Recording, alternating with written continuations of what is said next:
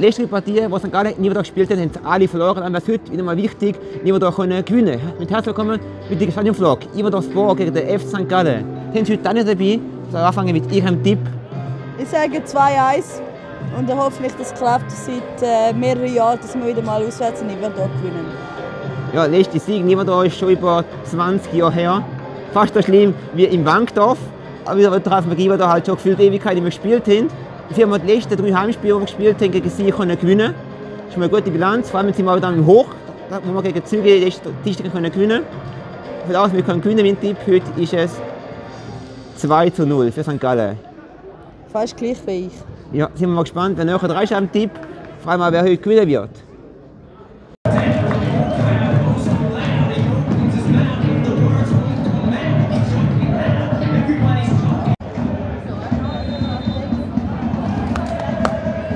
Los geht's, jetzt auf geht's, Jungs, mit dem Sieg ins Wochenende starten, wäre das Schönste, nicht? Jetzt Freistoß. Und!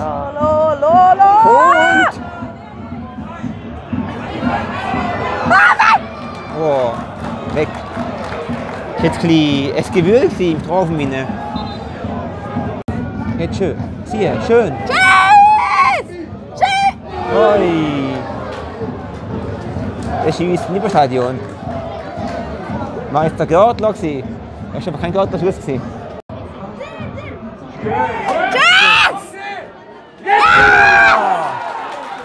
Aber Offside.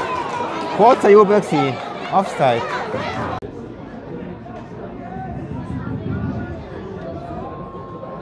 Flanke U. Gibt Eckball Abstoß? Nein, Eckball kann ich noch gibt. Eckball St. Gallen der erste. Und der kommt ungefährlich bis jetzt. äh. Goal, Goal, Goal. Goal! Nein, er blockt den. Jetzt. äh, Muss so ganz schreien, Frau. Ecke! Geht gar nicht. Einwurf. Nee. Nein, Ball ist nicht drin. Geht rein gar nicht. Es gibt einen Ballverlust. Selbst gibt es. Dann wieder einen Ballverlust, was es gibt. Und dann wieder einen Ballverlust, was es gibt. Und dann wieder einen Ballverlust, was es gibt. Oh, gefährlicher Angriff, Ivalo. Allein. Oh. Zum Glück. Ui, schön. Das war jetzt toll, toll der Molter. gewesen. Boah, Alter, was war das? gewesen? Er hat sehr unter dir ausgesehen. Zum Glück aber auch.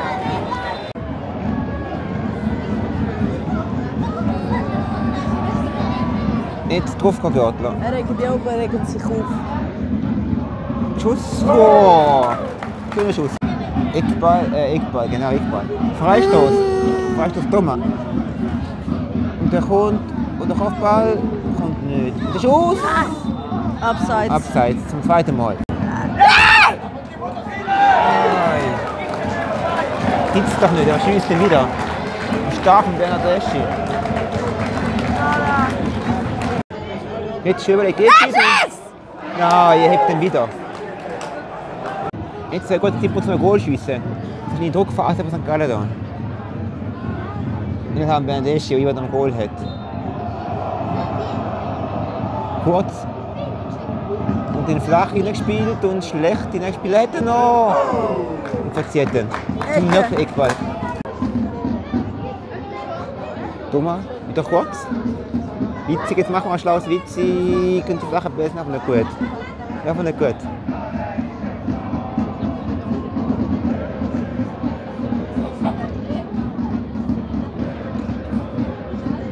Hm, Witzig, machen wir schlaues. Jetzt auf Ambrosius. Oh, schön, Akkolo auch schön. Und dann gibt es Eckball. Kein Foul. Okay. War wohl hart, aber fair. Was machen die? Das war auch hart, aber fair. Eckball da mal da, der haben wieder hoch hin, hoch und weit. Winkt Gefahr rein. Ja, doch nicht. Jetzt mal die Standschuss.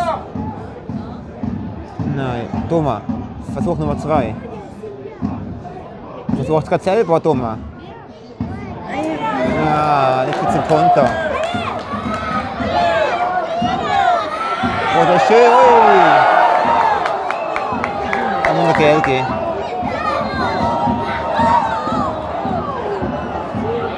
Muss man schon Geld geben. Klar zurückgeben.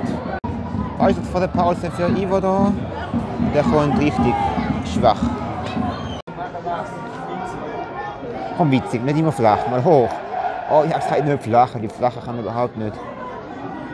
Finde ich, Ivo da gut abfangen. Jetzt mal schon einen Pass. Komm, hast Oh, knapp gewesen. Jetzt gibt das Foul an Goli. Pause in Iverdorf spielt von 0 zu 0 zwischen Iverdorf und FC St. Gallen. Von der Sicht aus ist das zu wenig. Man müsste führen, hat viel mehr Chancen gehabt, haben wir eine bessere Chance gehabt. Aber wenn es mal ein Goal gegeben hat, ist es der Offside gewesen. Ja, von Iverdorf kommt wenig. Wenn es mal kommt, ist es meistens ein bisschen unkontrolliert. Und meistens dann, ja, vom Goal dann meistens das Koi. Und dann meistens auch nicht richtig große Chancen die gibt oder Gefahr gibt, besser gesagt. Da ist es so, es ist äh, bis jetzt äh, nicht gut. Also, die Chancen machen es nicht, zu wenig, äh, zu viel passen vor dem Goal und nicht äh, draufklopfen. Und dann wäre es schon drin gewesen. Es ist fast von der Hälfte. Der ersten Halbzeit müssen wir noch einen Sieg einnehmen. Man wüsste auch noch, ist da in Basel, im Nord- und Langspiel hätten wir noch als Kaffee bekommen. Aber heute sieht es wohl anders aus. Hoffen wir zumindest mal. Wir wollen eine geile Abendstimmung hier mitnehmen. Und die Fahrt aus, Trainer kommt, das tut es wieder auf. Schöner als in der Ostschweiz, nicht schief jetzt heute den ganzen Tag. Dann sind wir heute über gefahren. Aber eine weise und gute Entscheidung. Jetzt geht es wieder Mannschaft von ihnen, die zweite Halbzeit zwischen dem FC Iverdor Sport und dem FC St. Gallen. Seit der Hälfte jetzt gestartet. Und da kommt jetzt der erste Angriff, jetzt das erste Goal. Ja, wichtig und verdient. Mesdames et messieurs, pas de changement à l'issue de ce match. Nein. Aber wohin? Es ist gleich wieder genau wie die erste Halbzeit. Jetzt lauf, Mami, lauf. Jetzt mal gescheiter Pass mitbringen. So zum Spiel und den abgefälscht. Ah. Jetzt mal eine Quizfrage an Tanja. Wie viele Zuschauer hat es da drinnen heute? Was schätzt du? 7000, 6000. 6000. Sag ich 4400. Schau, wer näher Das ist. ist gut, für, der 4000 kann auch stimmen. Mittig, jetzt mach mal Schlaus. Oh, abgefälscht. Geht Eckball. Eckball, Zehnte von St. Gallen. Und der müsste ein Jahr besser unterbringen. Und der Schuss. Oh, aufs Goal bringen, aufs Goal bringen. Und die was Goal. Und Sigi. Jetzt pfifft das Foul. Mit ein bisschen Platz und mit einer schlechten Idee zu kontern. Konter! Auf St. Gallen! Ist wieder zu langsam gewesen für einen Konter. Oh, der Ball ist wieder scheiße gewesen. Das gibt's doch nicht. Ist der Ball überhaupt scheiße, ist zweite Hälfte. Und zweite war auch die Stimmung. Muss halt sein. Jetzt schön! Oh! Mann, nee. Immer ist irgendwer dazwischen, immer ist irgendwer im Weg. pour ce soir. 2650 spectateurs au stade municipal d'Hiverdon les Bains. Notre ami d'Hiverdon Sport FC vous en remercie. Hop ça hop ça hop ça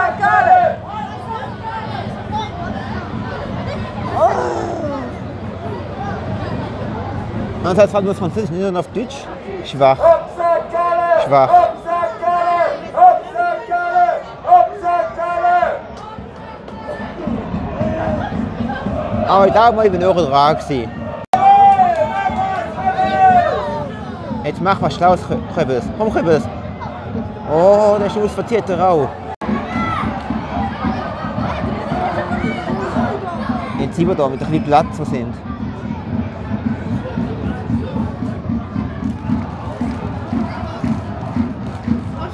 Oh, der ist schön. Der ist schön frei. Jetzt der Schuss. Sie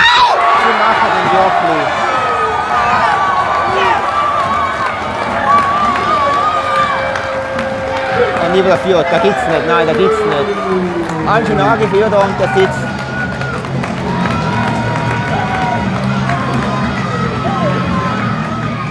eigentlich schon krass. St. Gallen dominiert Spiele über gefühlt über 75 Minuten bis jetzt. Und ich war da, ja, total defensiv. So wie am ersten Spieltag, nicht am ersten Spieltag, gegen Winterthur auswärts. Wie, wie, dominiert das Spiel. Und der macht dann schon Angriff und schießt ins Goal. Das ist bitter, aber wie gesagt, es ist bitter, aber ja, wer das Goal nicht schießt, der bekommt, sondern wie. Es ist bitter und unnötig. Ja. Aber es ist halt wichtig, dass aufsteht. Da steht einer wie immer da und das zählt halt schlussendlich. Nicht wer besser spielt.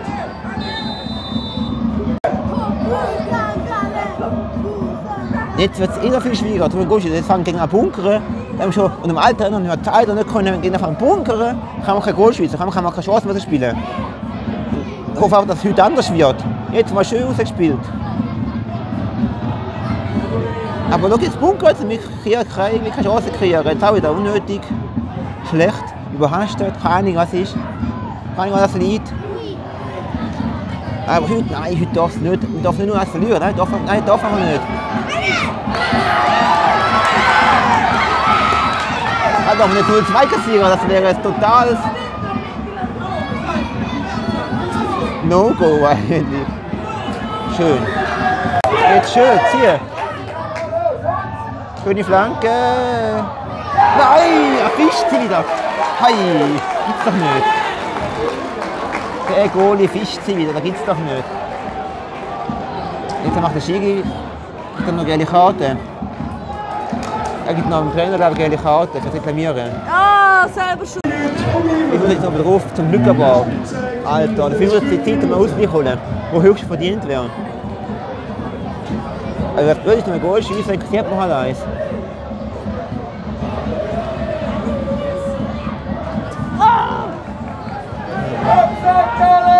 Jungs, bitte, kein, nicht verlieren, bitte. Komm, hast schön. Nein! Ecke! Abstoß. Ecke! Ivo, Fieber da.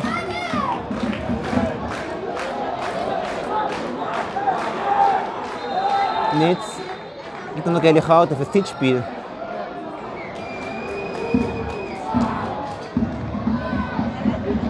Schauen da schon mal runter.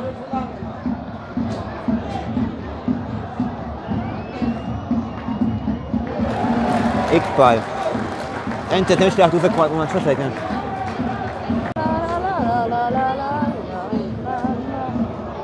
Äh, ja, es ist halt schon ein bisschen lahm aus, was sie da machen. Aber wir können einfach tun, weil wir 4 1 0 Was willst du da machen? Jetzt er ab.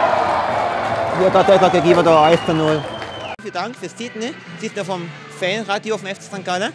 Was ist der erste Eindruck mit der Spiel für eine bittere Niederlage? Ja, sehr bitter. Ähm, äh, ein langer Heimweg ohne Punkte. Dann nach einem Spiel, wo man in der ersten Halbzeit eigentlich auch die Chance hat, äh, wo wir unbedingt mal ein Goal schiessen. Und wir haben es dort schon gesagt, es ist einfach verdammt schwierig, wenn man dem Ivor kein Goal schießt. Und äh, wenn die Chancen da sind. Und äh, genau da hat sich ein abzeichnet. Das hat sich in der 72. Minute leider bestätigt. Ja. Und von dem her sehr bittere Niederlage. Ja. Ist das ein Eindruck oder findet Sie auch das? Wenn man vor allem so gegen Gegner spielt, der defensiv gut steht, kann wir gerade zu wenig Chancen rauskreieren? Ja, ich glaube, würde ich so nicht sagen. In der zweiten Halbzeit gibt er recht. In der ersten Halbzeit hat St. Gallen vier, fünf gute Chancen gehabt. Es hat vielleicht ein bisschen die Brechstange gewählt, um dann einfach den Ball auch mal über die Linie drücken. Aber äh, ich glaube, es ist nicht so, dass man zu wenig Chancen gehabt Es ist irgendwie äh, genau der Plan von Iver da ist aufgegangen. Ich glaube, man muss das sagen. Oder? Die spielen das so, die machen hinten dicht und irgendwann kommt dann mal so ein 1 und der Komano hat das eben genau gemacht. So. Und der Plan ist aufgegangen. Bitter für den St. Gallen, der besser spielt, mehr Ballbesitz hat und am Schluss ohne Punkte heimgeht.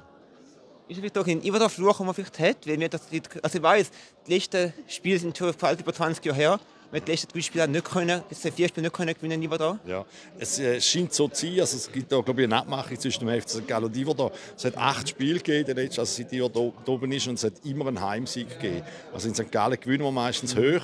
In Iverdor verlieren wir meistens mit 0-1 und da hat sich heute leider, leider bestätigt. Und äh, ja, wir haben, äh, weiß gar nicht, ein halbes Jahr Zeit, um den Fluch dann vielleicht dann können zu, be äh, zu bezwingen.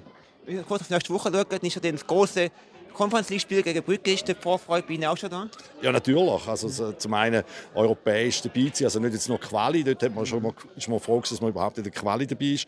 Und äh, jetzt hat man sich auch noch durchsetzen und jetzt kommen ein paar äh, hoffentlich unvergessliche Momente und äh, ich glaube, den, das kann man dann auch gar nicht mehr vergleichen mit einem Spiel wie da, oder? Da wird etwas ganz anderes geben und ich glaube, so wie man gegen Zürich gespielt hat, kann man auch gegen Brücke spielen und dann kann man vielleicht sogar etwas holen dort. Danke vielmals, dass Sie die Zeit nehmen.